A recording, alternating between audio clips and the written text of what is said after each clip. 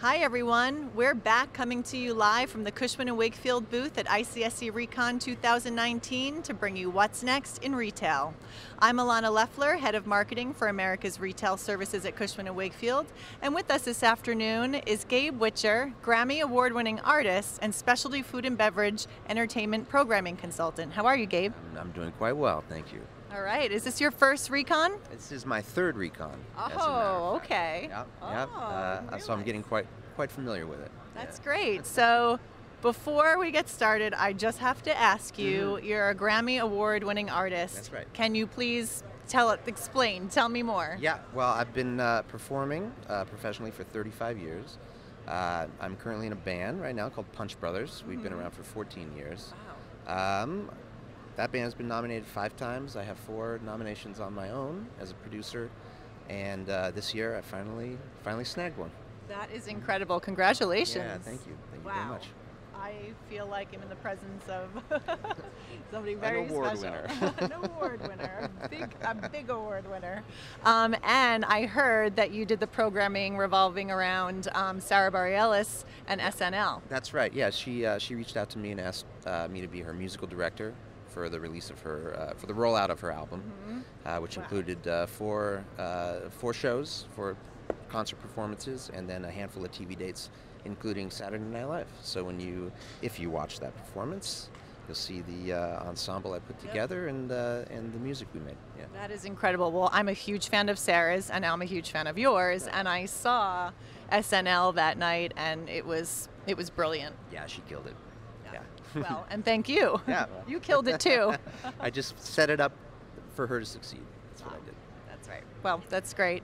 Um, so let's talk about specialty F&B, food halls, and the entertainment aspect. Mm-hmm. What entertainment elements um, are important to incorporate in a food hall? Yeah, well, we see a distinction separating good food halls, great food halls from good food halls being the ability to transition that space after the bulk of the uh, people who are going there to eat have left or gone home.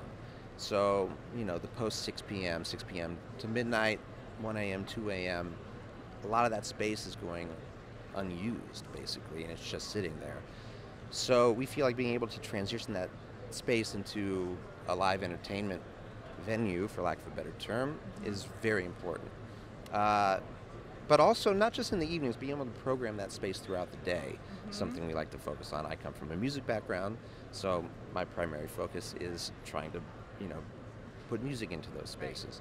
Um, but it can be anything from comedy to, you know, food demonstrations to, uh, you know, story time for children in the mornings or on the weekends, or you know, uh, if people want to do video presentations or mm-hmm. podcasting you know, mm-hmm. really trying to find creative ways to utilize that space throughout the day. Um, and I focus primarily on two things, which is the, the, design of the space and the curation of the space. So I help design the space from an artist's perspective. Mm-hmm. Uh, you know, we like to say you wouldn't design a kitchen without consulting a chef. Why would you design a performance space without consulting performer right. who's going to use it? There's a lot of small details that can make or break mm-hmm. a space uh, that, unless you're actually the one using it, you might not think of it. You might not think something's important. Little, you know, little things here and there. So I go in and help, uh, kind of, help avoid any mistakes that might be made, and also help integrate that space so that it's a seamless experience.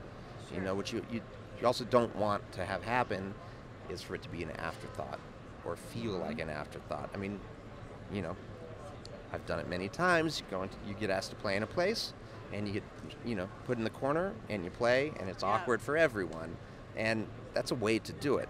But we have the ability now to plan ahead, and so we want to avoid it feeling like that. We want to avoid it feeling like an open mic, and that's where the curation comes in. So once the space is designed and feels like a part of this entire space, and we're able to activate that space successfully from a design standpoint, now we have to curate. Mm-hmm. So I help uh, identify people within the local community because we also want it to be a reflection of the local community. That's what we feel like a food hall should be. Mhm. 60, 70% reflection of that, and maybe some stuff that the community hasn't seen yet. Mhm.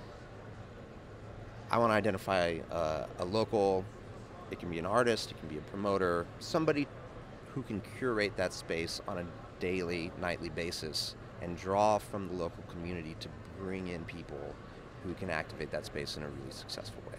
That's what I, I'm here for. And I'm sure um, when it comes to local um, artists, it's also they probably have a local following, so then it pulls in that That's audience. right. and That's one of the reasons to, to start locally is constituency.